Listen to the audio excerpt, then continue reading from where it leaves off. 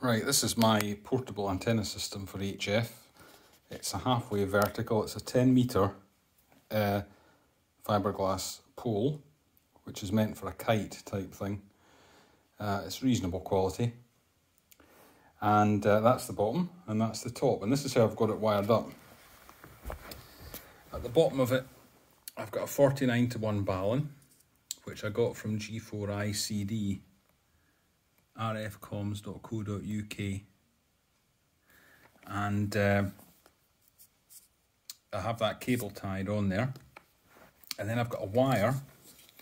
That's a bullet connector. The reason I've used that is that that's what uh, G4ICD uses. So on on the commercial setups that he sells. I'm not sure the ins and outs of why that would be but it certainly fits the terminal perfectly and then I've got a wire permanently attached that goes all the way to the top. And at the top end I have four turns of wire uh, and what this does is with a half wave antenna it if you use it on multiples of the frequency it pulls the resonant point down on the upper bands. It does that because um, on the lower frequency band, see this is a half wave normally for 20 metres. So on 20 metres, that's actually quite a small inductance and it will effectively be ignored.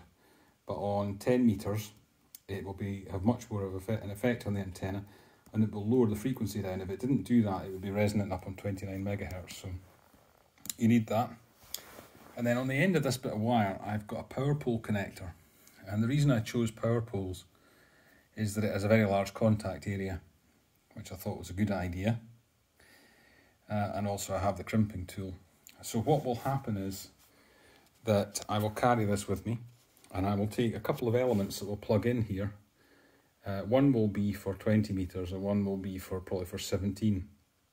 And I might even do one for 30 meters because although this is a 10 meter pole, when I've used it as a half wave in the past, um, because of the inductance in the uh, transformer, you end up with uh, probably about eight, eight and a half meters on 20 meters, so a 30 meter half wave um, is going to be longer than the pole, but not much longer, so you can actually just use it like a guy, attach, attach a string to it. And what I'm going to do is colour code them, so I will use different coloured uh, power pole connectors so that I can tell which is which.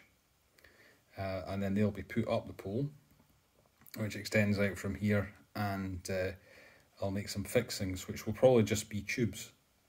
Uh, you can put a tube round which, which, holds it against the pole. So that is the half-wave antenna system. And the bottom of it will be usually strapped to a fence post or I do have a ground spike that it can attach to as well. So there we are, half-wave antenna system, portable. And we'll see how it performs uh, over the next wee while.